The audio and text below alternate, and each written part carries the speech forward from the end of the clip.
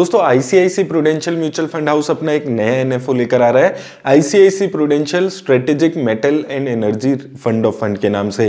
तो ये एक फंड ऑफ़ फंड है। फंड ऑफ़ फंड्स दोस्तों, वो फंड्स होते हैं जो डायरेक्टली किसी शेयर को परचेज नहीं करते ये किसी पर्टिकुलर फंड में या ईटीएफ में पैसा लगाते हैं। तो इस वीडियो में हम डिटेल में देखेंगे कि ये फंड ऑफ़ फंड किस फंड में पैसा लगाने वाला है, उसकी स्ट्रेटेजी क्या रहेगी, क्या उसने रिटर्न अभी तक जनरेट किया और एंड में मैं आपको ये भी बताऊँगा कि क्या आपको इसमें इसमें इन्वेस्ट करना चाहिए या नहीं तो आइए देख लेते हैं ये वीडियो तो दोस्तों, ये एक फंड ऑफ़ फंड है और ये अपना जो मेजर पैसा है वो First Trust strategic metal and energy equity fund में लगाएगा। ये फंड कहाँ पे अपना पैसा लगाएगा इसके बारे में हम अभी डिटेल में वीडियो में बात भी करने वाले हैं। एनएफओ डेट की बात करें तो 17 जनवरी 2022 से इसका एनएफओ ओपन हो रहा है और 31 जनवरी तक ये ओपन रहने वाला है। तो अगर आपको इसके एनएफओ में इन्वेस्ट करना है, इस पीरियड के बीच में आपको यहाँ पर इन्वेस्ट करना होगा। अब दोस्तों बात करें कि ये पैसा कहाँ पर लगाएगा तो दो चीज़ें आपको यहाँ पर समझनी है।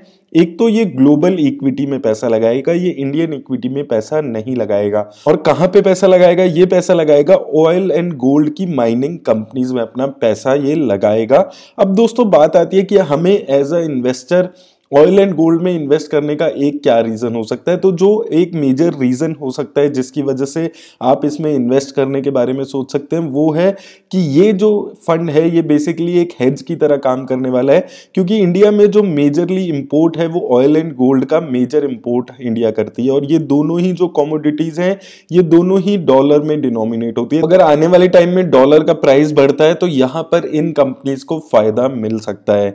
अब दोस्तों, अगर हम बात करेंगे ये जो फंड है, ये वर्क कैसे करेगा? तो इंडियन इन्वेस्टर्स जो पैसा लगाएँगे, हम लोग पैसा लगाएँगे ICICI Prudential strategic metal and energy fund of fund में। और ये जो फंड है, ये आगे पैसा दे देगा First Trust strategic metal and energy international fund को। तो बेसिकली हमारा जो पैसा है, वो indirectly First Trust strategic metal and energy international fund में जाकर लग जाएगा। तो अब हम इस फंड की इन्वेस्टमेंट स्ट्रेटेजी देख लेते हैं। देख लेते हैं इसने कहाँ पे अपना पैसा लगाया हुआ है, किन कंपनीज़ में और किन सेक्टर्स में। तो सबसे पहले अगर हम इनकी इन्वेस्टमेंट का प्रोसेस समझते हैं तो यहाँ पर इनका जो प्रोसेस है, वो बहुत ही ज़्यादा सिंपल रहता है कि ये दो ही टाइप के स्टॉक्स में पैसा लगाते हैं। गोल्ड माइनिंग स्टॉक्स में पैसा लगाते हैं। वहाँ पर उनकी मॉडिफाइड मार्केट कैपिटलाइजेशन के हिसाब से ये पोर्टफोलियो बनाते हैं और उसके बाद ऑयल एंड गैस के जो स्टॉक्स होते हैं, उसमें ये अपना बिल्ड करते हैं portfolio fifty fifty percent allocation ये दोनों टाइप के स्टॉक्स को दे देते हैं। गोल्ड का पोर्टफोलियो फिफ्टी परसेंट का बनाते हैं और साथ में ऑयल एंड गैस का पोर्टफोलियो भी फिफ्टी परसेंट का बनाते हैं और उसके बाद इनके को को चेक करके time to time monthly basis में पोर्टफोलियो को रीबैलेंस किया जाता है।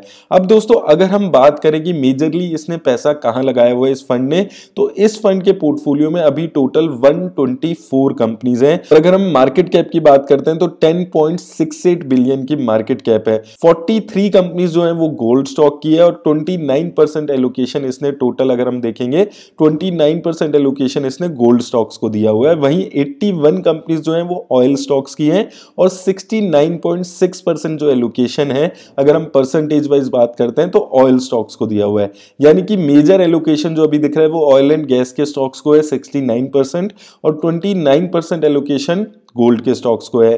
कंपनीज़ पे अगर आप बात करते हैं तो ये कुछ कंपनीज़ हैं जिसमें इन्होंने इन्वेस्ट किया हुआ है। टॉप की कंपनीज़ अगर आप देखते हैं, कंट्री वाइज अगर आप देखेंगे तो 61 परसेंट जो पैसा है, जो कंपनीज़ में लगाया जा रहा है, वो यूनाइटेड स्टेट्स की कंपनी है। 61 परसेंट यहाँ पर। कनाडा की 28 परसेंट कंपनीज़ है।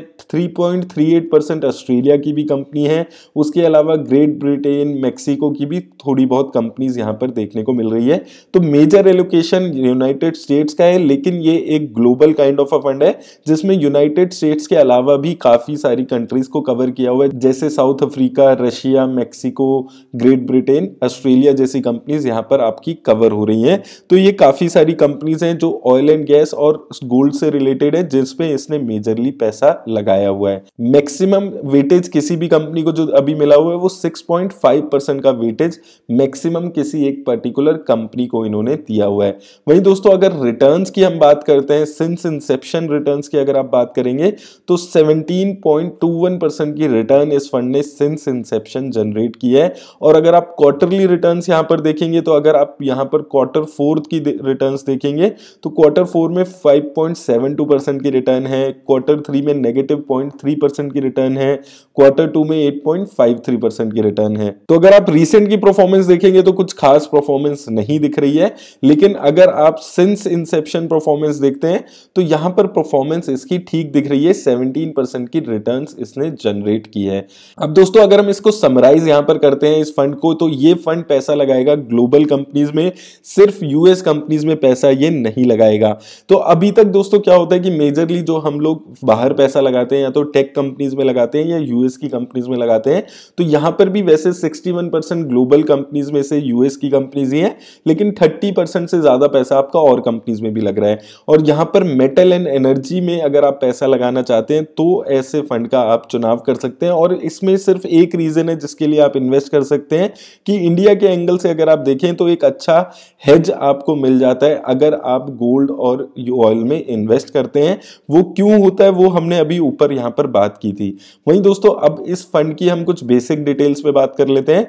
तो अगर आपको इसमें पैसा लगाना है तो कम से कम आपको हज़ार रुपए से यहाँ पर शुरुआत करनी होगी। SIP की बात करें तो डेली वीकली फोर्टनाइटली मंथली सब टाइप की SIP आपको यहाँ पर मिल जाएगी। SIP सिर्फ़ सौ रुपए से है। हालाँकि अगर आप NFO में पैसा लगा रहे हैं तो वन थाउज़ेंड रुपीज़ मिनिमम आपको यहाँ पर लगाने होंगे।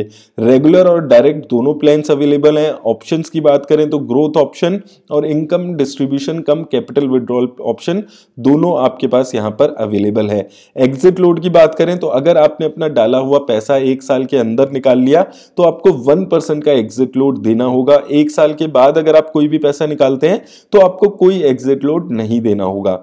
टैक्सेशन की बात करते हैं तो दोस्तों जितने भी ये इंटरनेशनल फंड्स होते हैं, जो इंटरनेशनल कंपनीज़ में पैसा लगाते हैं, वहाँ पर जो टैक्सेशन होती है, वो डेट फंड के हिसाब से आपकी लगती है। यानी कि अगर आपने तीन साल के अंदर पैसा अपना निकाल लिया, बेच दिया तो आपको शॉर्ट टर्म कैपिटल गेन्स लगते हैं।